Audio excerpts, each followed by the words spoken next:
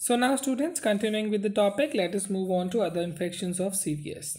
First being myocarditis.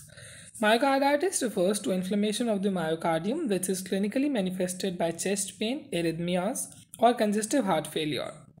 It is rapidly progressive and often fatal.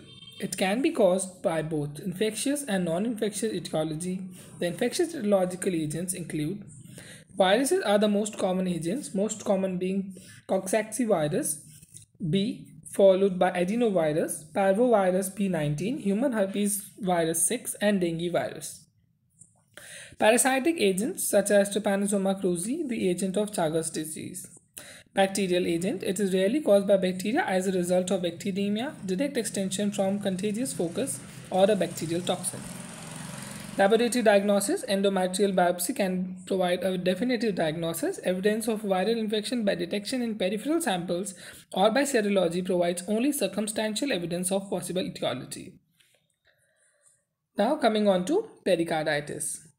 Inflammation of the pericardium is clinically presented by one or more of the following manifestations chest pain, pericardial friction drop, and pericardial effusion. It can be caused by both infectious and non infectious etiology.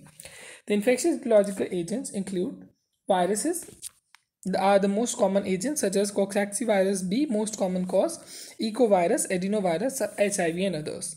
Bacteria rarely may cause purulent pericarditis, usually as a complication of, com- of pneumonia due to Staph aureus, H. influenzae, meningococcus, and pneumococcus.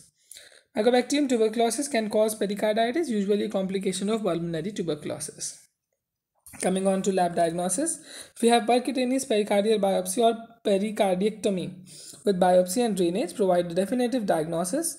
Evidence of coincident viral infection either by culture or serology is circumstantial. Pericardial effusion.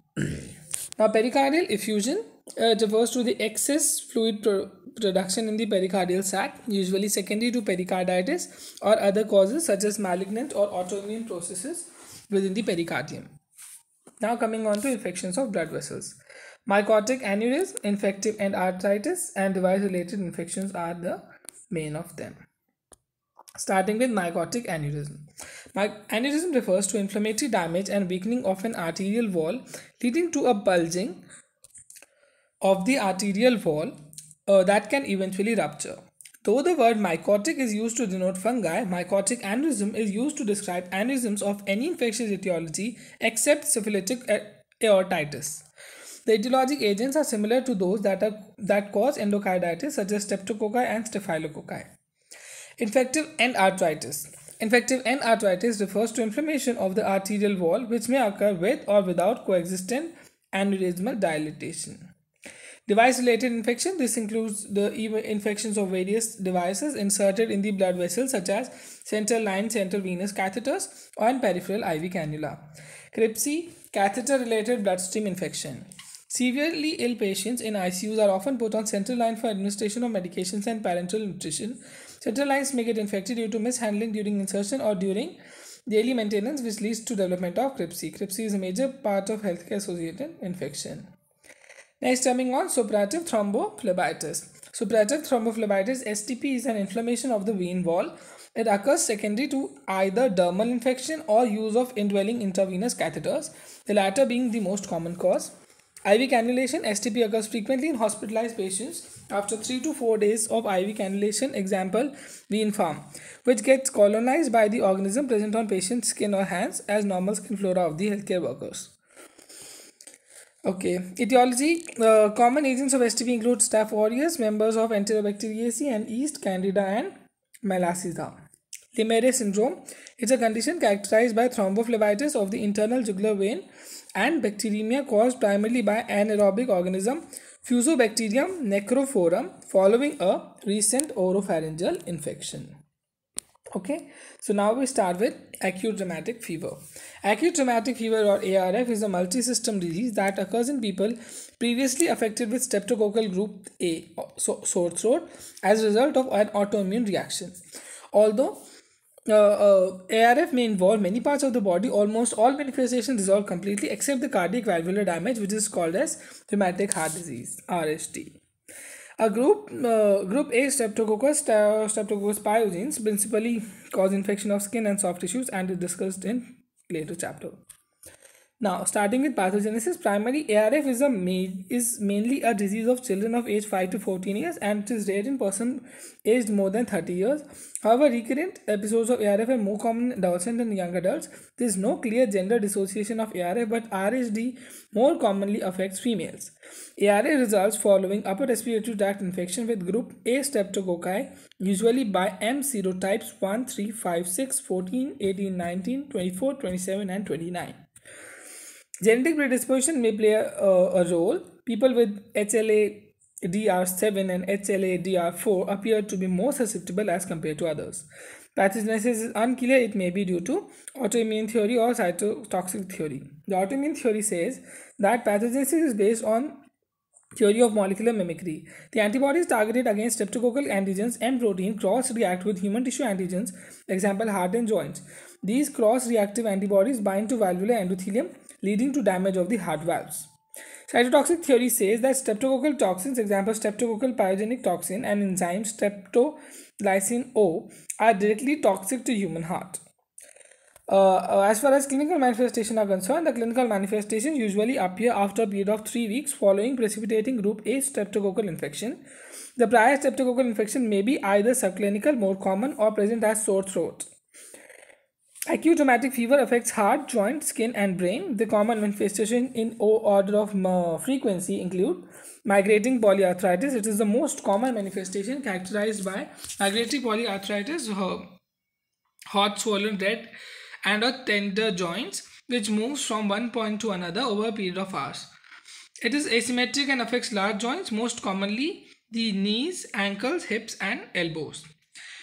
Uh, Pancarditis, affective endocardium, uh, pericardium or myocardium. Uh, valvular damage is the hallmark leading to mitral valve regurgitation, most common, and aortic regurgitation. Okay. The myocardial inflammation may affect electrical conduction pathways leading to PR interval prolongation. Subcutaneous nodules occurs in as painless small mobile lumps beneath the skin overlying bony prominences, particularly on the hands, feet, and elbows. Chorea Sydenham's is the abnormal involuntary movement disorder mainly affecting head and limbs. Erythema marginatum. They are pink macular rashes that appear and disappear before the examiner's eyes. Okay. Now, diagnosis of ARF uh, is based on Jones criteria.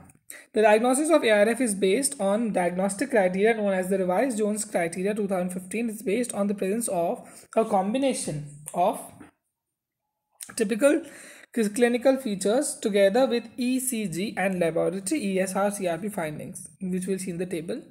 Supportive evidence of previous group A streptococcal infection within the last 45 days was a part of the previous version of Jones criteria 1992, which was diagnosed by detection of one of the following. Elevated ASO titrate, which will be much higher in patients with ARF than seen in patients with gas infection without ARF.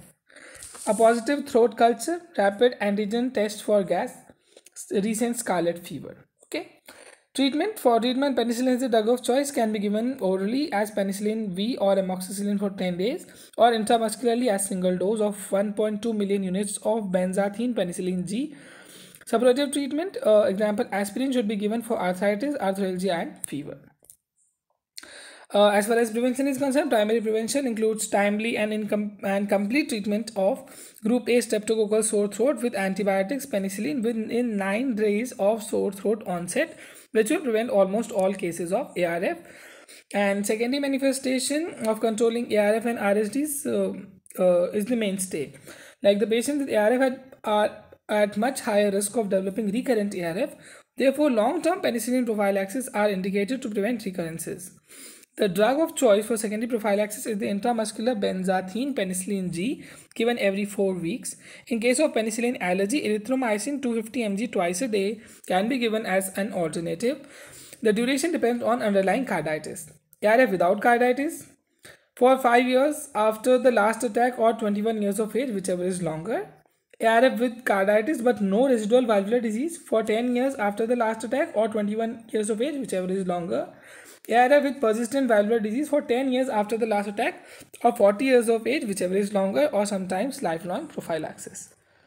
so as we have completed this let us discuss the the modified jones criteria 2015 the major criteria include low risk population and high risk population in low risk population carditis clinical or subclinical whereas uh, again carditis clinical or subclinical and high risk population arthritis only polyarthritis in low risk whereas arthritis monoarthritis or polyarthritis and polyarthritis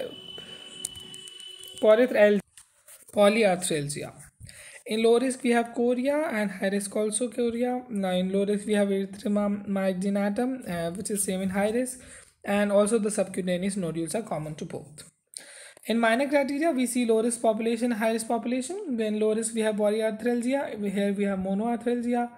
Hyperpyrexia more than thirty eight point five degree Celsius is common to both E S R more than sixty M M per hour or C R P more than three M G per decilitre is in low risk while E S R more than thirty M M per hour or E C R P more than equal to three M G per D L is in high risk prolong P R interval is in low risk while prolong P R which is same in the high risk also in diagnostic criteria in low risk we have in initial A R F and recurrent A R F with reliable past history of A R F or R S D Whereas in uh, high risk, we have two main or major or one major plus two minor and two major or one major plus two minor or three minor criteria.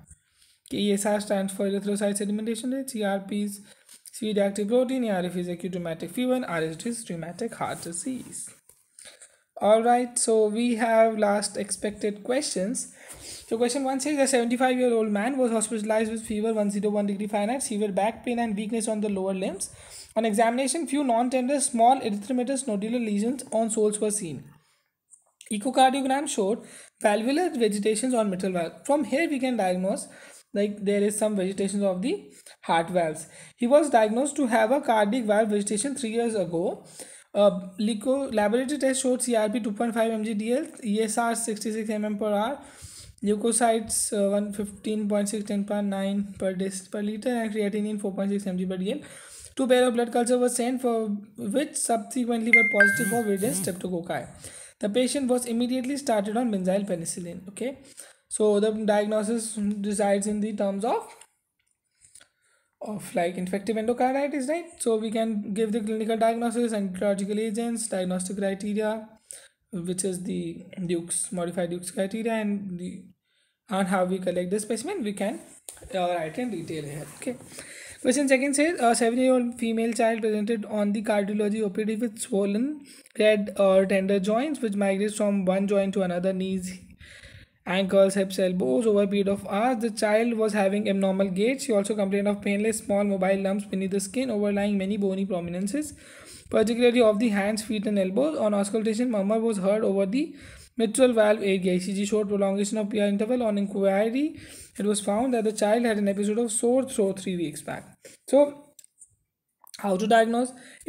Uh, some person had a sore throat three weeks back and it has now uh, progressed into a major disease so we can uh, go in terms of your rheumatic fever because the child has abnormal gait and like such problems are there so the question is that what is the probable clinical diagnosis and etiological agent we can say?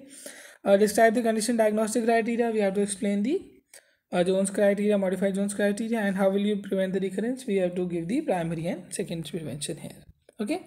So this completes our chapter number 27 and uh, next we'll be starting with bloodstream infections. Okay? Okay? Thank you for watching and like and share subscribe